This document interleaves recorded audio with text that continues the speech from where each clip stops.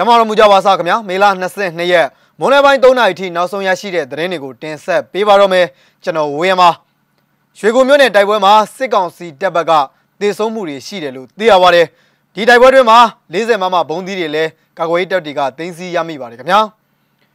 သတင်းနိုင်တိုင်းကကွန်ဒီအမှုတွေကိုတရုတ်ကဈေးကောင်းပေးပြီးတော့ဝယ်ယူနေပါတယ်ထိုင်းမြန်မာနယ်စပ်တောင်ရင်မြစ်ရေကြီးကမ်းပြိုတဲ့အတွက်စစ်ဆောင်စခန်းတွေအရေးပေါ်ရွှေ့ပြောင်းနေရပါတယ်ခင်ဗျာ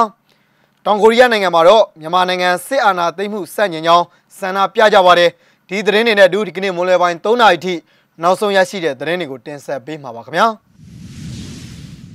ပထမဆုံးသတင်းတစ်ပုဒ်အနေနဲ့ကချင်ပြည်နယ်ရွှေကူမြို့နယ်ကိုချင်းလျင်စစ်ကြောင်းထိုးလာတဲ့စစ်ကောင်စီတပ်ဖွဲ့စစ်ကြောင်းကို H22 လက်လုံရှေ့ထွက်မိုင်း6လုံးနဲ့မြို့လ KPD ရဲ့အရန်တပ်ဖွဲ့ကတိုက်ခိုက်လိုက်ကြောင်းသိရပါတယ်ခင်ဗျာဒီကနေ့မေလ22ရက်မနက်ပိုင်း8နာရီခွဲအချိန်လောက်မှာရွှေကူမြို့နယ် တင်မောအင်းရွာကနေမိုးစစ်ရွာဘက်ကိုချင်းလင်းလာတဲ့တင်မောလုံခြုံရေးတပ်စစ်ကောင်စီအင်အား40လောက်ကိုတိုက်ခိုက်လိုက်တာလို့သိရပါတယ်ခင်ဗျာစစ်ကောင်စီတပ်ဘက်ကအင်အား40လောက်မှာ20လောက်ထိခိုက်သေဆုံးမယ်လို့ခန့်မှန်းရတယ်ဗျသူတို့ရေချောင်းကနေမော်တော်နဲ့တည်သွားတယ်ဗျသေဆုံးသူနဲ့ဒဏ်ရာရသူရောပေါ့သူတို့တက်လာတဲ့အင်အားရောမိုင်းဆွဲပြီးချိန်လှုပ်ရှားမှုရောအကုန်လုံးသတင်းရပြီးသားပါခင်ဗျာလို့မြို့လ KPD ရဲ့ပြန်ကြားရေးတာဝန်ခံကပြောပါတယ်မိုင်းတက်တာဝါတိုင်းကနေရရှိတဲ့ပစ္စည်းတွေနဲ့ပြုလုပ်ထားတဲ့ H22 လို့အမည်ပေးထားတဲ့လက်လုံရှေ့ထွက်မိုင်း6လုံးနဲ့ဖောက်ခွဲတိုက်ခိုက်လိုက်တာဖြစ်ကြောင်းလည်းသိရပါတယ်။မိုင်းတဲ့တာဝါတိုင်းကရတဲ့ဟာနဲ့လှုပ်ထားတာခင်ဗျ။ H22 လို့ကျွန်တော်တို့အမည်ပေးထားတာပါ။မီတာ90ကနေ80ဝန်းကျင်ထိအောင်ထိရောက်မှုရှိတယ်ဗျ။ရှေ့ထွက်ချိန်မှာငါးဖက်နဲ့ကွန်တပွဲ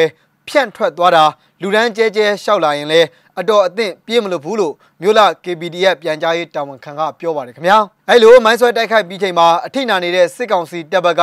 ခဏကြာပြန်လည်ပြစ်ခတ်ပြီးတေဆုံးသူနဲ့ဒဏ်ရာရသူတွေကိုပေါကုန်းရွာအုပ်ကနေတဆင့်ရေချောင်းကနေမော်တော်နဲ့ရွှေကူမြို့ကိုတဲဆောင်သွားတယ်လို့မြို့လ KPDF ကထုတ်ပြန်ထားပါတယ်ခင်ဗျာတိုက်ပွဲအပြီးအရန်တပ်ဖွဲ့ကနေမြေရှင်းလင်းရမှာကာလာတံမိုး10သိန်းကျော်တံမိုးရှိတဲ့40မမ73လုံးသိန်းစီရမိကြောင်းမြို့လ KPDF ကထုတ်ပြန်ချက်အရသိရပါတယ်ခင်ဗျာ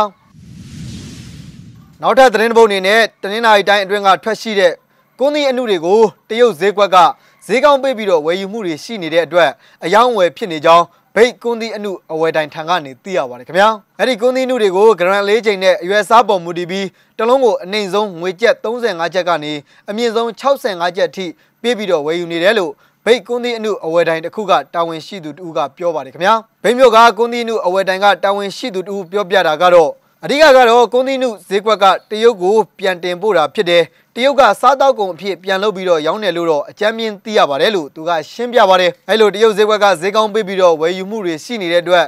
ကွန်သီချန်ရှင်နဲ့ဒေသခံတောင်သူအချို့က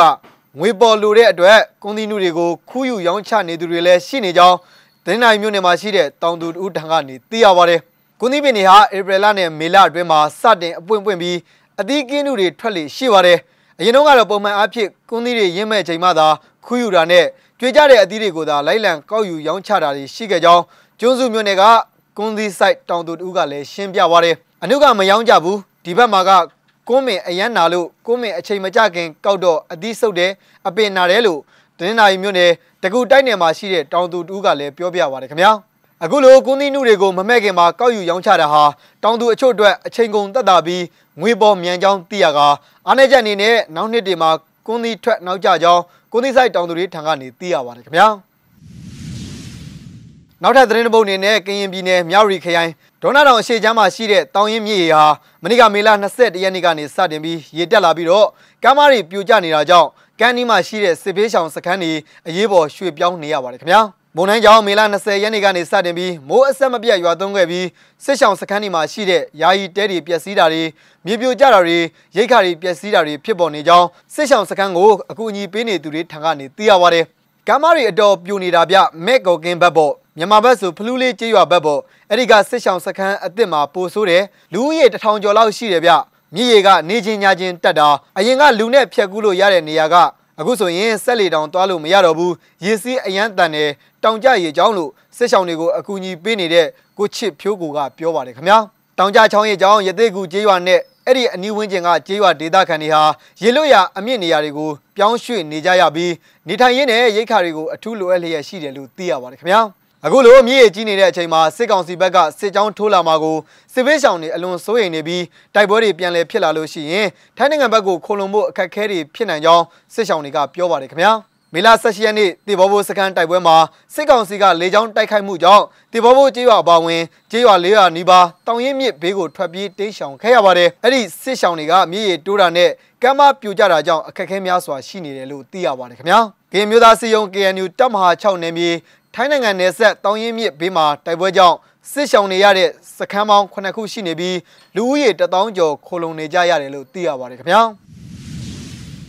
ဒီကနေ့မွန်လွဲပိုင်းရဲ့နောက်ဆုံးသတင်းတစ်ပုဒ်အနေနဲ့တောင်ကိုရီးယားနိုင်ငံချန်ဝမ်မြို့ဒေဂူးမြို့ဂူမီစတော်မြို့တွေမှာမြန်မာနိုင်ငံစစ်အာဏာသိမ်းမှုအလုံးမရှိစန့်ကျင်ကြောင်းဒီကနေ့မေလ22ရက်နေ့မှာဆန္ဒထုတ်ဖော်ကြောင်းသိရပါတယ်ခင်ဗျာ ဒီနေ့လှုပ်ရှားမှုမှာတော့မြန်မာကိုရီးယားပူးပေါင်းဆန္ဒပြပွဲတွေစူတောင်းပွဲတွေနယူးဒေါ်လန်ရေးကူညီထောက်ပံ့မှုရမုံငွေများများရရှိရေးပွဲတွေကိုဒေဂူဘုံဘုံနဲ့အရှင်ထာဝရနော်ဝေဆီယာတော်တို့ကဥဆောင်ကျင်းပခဲ့တယ်လို့သိရပါတယ်ခင်ဗျာရုပ်သံပိုင်းပြည်စုံကိုလည်းကျွန်တော်တို့ကြည့်ရှုနားဆင်ကြရအောင်ပါမင်္ဂလာပါဘုံဘုံတို့ဒီကနေ့ကတော့တောင်ကိုရီးယားနိုင်ငံဂုမီမြို့မှာပေါ့နော်မြန်မာကိုရီးယားပူးပေါင်းပြီးတော့မြန်မာအရေးပေါ်ဆောင်တဲ့ ပွဲကလေးပေါ့နော်မြန်မာနိုင်ငံစစ်အာဏာသိမ်းမှုကိုအလုံးမရှိစန့်ကျင်ကြောင်းကိုရီးယားနိုင်ငံရောကဘာမှာရောသိရအောင်ဆိုပြီးတော့မြန်မာတွေကိုအမြဲတမ်းအားပေးနေတဲ့ကိုရီးယားဘုန်းကြီးတွေအပါအဝင်တိရိသင်္ကာဘုန်းကြီးတွေအပါအဝင်ဘုန်းတော်မြန်မာနိုင်ငံရဲ့အများဆုံးစစ်မှန်တဲ့ဒီမိုကရေစီရရှိရေးနဲ့ဖက်ဒရယ်ပြောင်းစနစ်ပေါ်ပေါက်ရေးအတွက်ဘုံဘုံတို့အပတ်ပတ်ကနေပြီးတော့စတောင်းပွဲတွေစန္ဒပြပွဲတွေ ဘောလုံးပွဲတွေရမုံငွေပွဲတွေပေါ့နော်ပြုလုပ်ခြင်းအဖြစ်မြန်မာပြည်ကိုအတက်နိုင်ဆုံးခောက်ပနိုင်အောင်ကြိုးစားအားထုတ်နေကြပါတယ်ဒီကနေ့ဆိုလို့ရှိရင်ဒေကူးမြို့မှာမနက်ပိုင်းစတောင်းပွဲပြီးသွားတော့ချမ်းဝမ်မြို့မှာစန္ဒပြပွဲအခုဘမောတော့ဂုံမီမြို့ကိုရောက်ရှိနေပါတယ်တောင်ကိုရီးယားနိုင်ငံရဲ့မြို့နယ်အသီးသီးမှာလည်းပဲမြမအရေးပေါ်ဆောင်တဲ့စန္ဒပြပွဲတွေကိုအပတ်စဉ်တနင်္ဂနွေနေ့တွေတိုင်းကျင်းပလျက်ရှိပါတယ်။ဘုံဘုံပြောချင်တာတော့ပြည်ပင်းပြည်ပမှာရှိကြတဲ့မြန်မာနိုင်ငံသူနိုင်ငံသားတွေဝေဦးတော်လန်ရေးကို အင်တာအားတဲ့ပါဝင်ဆောင်ရွက်နေတဲ့သူတွေတုံးနဲ့တူဒီခံကြီးတရားမေတ္တာတရားတွေကိုလက်ကင်ထားပြီးတော့ဘုံဘုံတို့ဒီမှန်ထားတဲ့ညော်မှန်ထားတဲ့ဖက်ဒရယ်ပြည်တော်စုစနစ်ပေါ်ပေါက်နိုင်အောင်စူးစမ်းအားထုတ်ကြပါတော့ကျွန်တော်ရဲ့ဘုရားစကားကိုဒီမှာပြတ်ဆုံးသတ်ပါတယ်ရေတော်ဘုံအောင်ရပါပြီ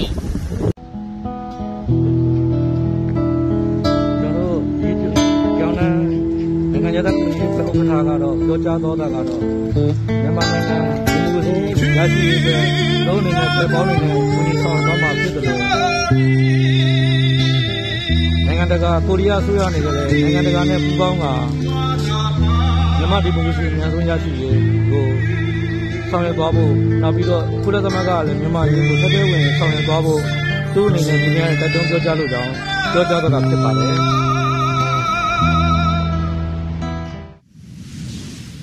မေလ22ရက်မွန်လွဲပိုင်း3နာရီထိမဇ္ဈိမ TV ရဲ့နောက်ဆုံးရရှိခဲ့တဲ့သတင်းတွေကိုတင်ဆက်ပေးခဲ့တာပါ။စောင့်မျှော်ကြည့်ရှုအားပေးကြသူအားလုံးကိုအထူးပဲကျေးဇူးတင်ပါတယ်ခင်ဗျာ။